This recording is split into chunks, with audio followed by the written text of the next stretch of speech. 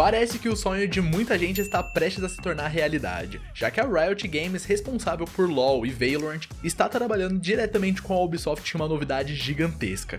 Calma que não vai existir um Valorant Siege ou Rainbow Six Valorant da vida, mas as novidades são bem animadoras, incluindo skins da franquia Nier com data revelada, nova atualização importante no jogo e até detalhes do Major na semana que vem.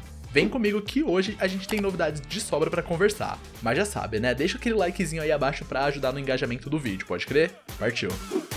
Ó, vocês lembram do meu último vídeo que a gente conversou do Battle Y atualizado bugando o jogo no PC, né? Rolou uma atualização e até pouco a gente não sabia o que a Ubisoft tinha mexido. E de fato a gente ainda não sabe todas as mudanças e correções da atualização, porém uma das mudanças foi confirmada que é a desativação desse sistema novo que o Battle Y recebeu. Como eu expliquei no último vídeo, é um sistema muito benéfico pro game, mas que estava mais dificultando a vida dos jogadores limpos do que a dos cheaters. Então eles vão consertar isso e talvez em dezembro, com a temporada 4, o sistema já esteja em vigor novamente. E antes da gente falar da próxima temporada mesmo, a gente recebeu uma última novidade para a operação atual, a Brutal Swarm. No caso, a nova skin do Maverick, em colaboração com a franquia Nier. A Square Enix e a Ubisoft se juntaram e criaram dois pacotes exclusivos no Seed que ficaram animais. Esse pacote do Maverick, ele não é um pacote Elite, tá? Vale ressaltar. É um conjunto bem especial e lendário, mas não chega a ser um Elite. Porém, ele vai estar disponível por créditos R6 na segunda-feira, dia 21, junto com o segundo pacote dessa colaboração. Que nessa altura do campeonato eu já imagino que vocês devam saber que a gente tá falando da Yana Elite, né? E como eu já adiantei aqui no canal, pode ser que esse Elite chegue mais caro do que os tradicionais 1800 créditos R6, então vale a pena ficar de olho se você está interessado. Outra novidade é que semana que vem, junto com o início da Copa de Qatar, começa também o Major sueco de Okoping, que rola do dia 21 a 27 desse mês. O Major ele vai ser presencial a partir do dia 15 também, não que isso signifique muito, porque os gringos não têm a torcida nada parecida com a nossa, né, mas se liga. O campeonato novamente ele vai contar com 16 equipes e claro que os grupos já estão definidos nessa altura do campeonato, incluindo Black Dragons no grupo A, Liquid no grupo B, W7M no grupo C e por fim a FaZe no grupo D também representando o Brasil. Os horários das partidas já foram revelados por conta do fuso horário, as partidas começam a partir das 6 horas da manhã aqui pra gente no Brasil. Existem algumas outras informações do campeonato pra galera que vai estar presencialmente lá, mas mais importante para quem assiste de casa, teremos novos drops, dessa vez pro Vigil e pra Doucab. São quatro itens para cada um: uniforme, headgear, skin de arma e o amuletinho que já estão na coleção dos Sports Packs. Dessa vez você pode farmar cada pacotinho com 3 horas assistidas, podendo farmar um pacote por dia. E na final, no dia 27, serão dois pacotes totalizando 8 packs se você assistiu o campeonato desde o início. Além disso, você pode acompanhar o Major pelos streamers nas Watch Parties. Dessa vez, grandes nomes estão confirmados como Zigueira e até o Gaules de novo, ajudando a divulgar ainda mais o nosso site que está prestes a receber uma grande temporada. Outra novidade são as skins de time na loja, com 20% de desconto de 21 a 27 de novembro durante o Major. E o principal é o painel da Operação Solar Raid na segunda-feira, bem no comecinho do Major, às 5 e meia da tarde no horário de Brasília. A gente vai estar tá ao vivo para acompanhar o painel juntos, já que eu não pude testar a temporada antes, então eu realmente não sei como vai ser o painel e a gente vai descobrir isso juntos. E, inclusive, para quem acompanhar a live oficial, eles vão dropar um conjunto para caveira e um amuletinho de uma ave com a bandeira da Colômbia, já que a Solis é uma gente colombiana, claro. Então já marca aí na sua agenda que eu tô te esperando por lá.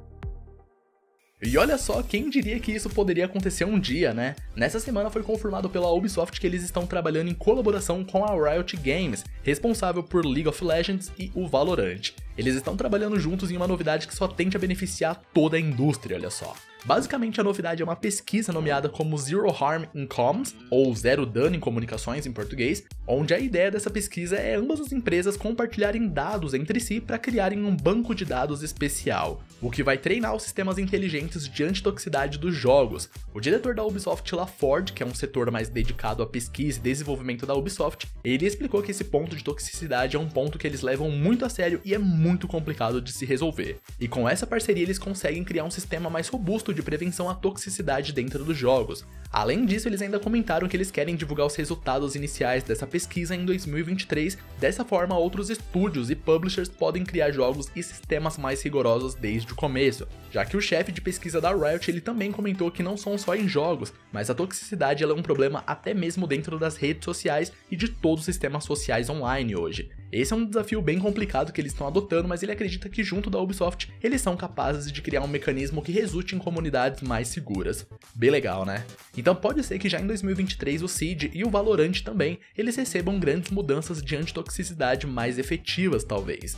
Nessa matéria do VGC, inclusive, tem um dado mostrando que só nos seis primeiros meses desse ano, a Microsoft baniu quase 4 milhões e 800 mil contas devido à toxicidade. Então não é só besteirinha de joguinho, é realmente gente doente que acha que pode fazer o que quiser com o próximo dentro dos jogos. E esperemos que essa iniciativa traga bons resultados para ambos os lados. Falando da Solis especificamente, tivemos uma novidade. Por enquanto não foi o trailer, mas sim um teaser confirmando o visual da operadora. Não que isso seja novidade, já que o trailer do mapa laboratório já tinha revelado ela parcialmente, mas ainda hoje, nessa sexta-feira, eles liberam o trailer completo dela, que eu acredito que vai ser bem legal. Dado que no teaser de revelação do painel eles deram um gostinho dela jogando xadrez e tudo mais, bem produzido. E para fechar, além das Solis e as outras novidades, no dia 21 a gente também vai conhecer mais do novo esquadrão da Rainbow. Nesse ano a gente já conheceu a Wolfguard, que é um squad mais humanitário, e até a Nighthaven, que age mais por interesses próprios. E agora chegou o momento da gente conhecer o Ghost Eyes, ou Olhos Fantasmas em português, que como já é de se imaginar, é um squad focado nas operações furtivas lideradas pela Caveira, incluindo operadores como Zero, Nuke, Mose e todos esses agentes stealths e de intel da Rainbow. Já existe um teaserzinho mostrando alguns dos gadgets sobre a mesa, incluindo já o capacete da Solis. Para quem acompanha os vídeos de lore aqui do canal já sabe que a mulher promete balançar o meta, viu? E na segunda-feira teremos mais informações a respeito de como isso vai funcionar. Novamente, como eu não consegui testar a Season em antecipado, os vídeos da nossa cobertura eles vão sair um pouco depois que terminar o painel. Mas assim que abrir o TTS na semana que vem, a gente já cobre como sempre todas as mecânicas novas, balanceamentos, mapa novo e tudo mais. Por enquanto já larga o comentário aí se você vai acompanhar esse Major ou se você tá hypado pra nova temporada e também se você gostou dessa nova medida e colaboração da Ubisoft com a Riot Games. Comenta aí abaixo que eu quero muito saber a sua opinião, viu? Mas ó, esse vídeo vai ficando por aqui, mas pegue e compartilha com a rapaziada para ajudar no crescimento do canal, pode crer? Eu me chamo Gabriel Cerqueira e esse foi mais um vídeo completo do canal GCM pra vocês. Espero poder contar com você por aqui no meu próximo vídeo e até mais galera!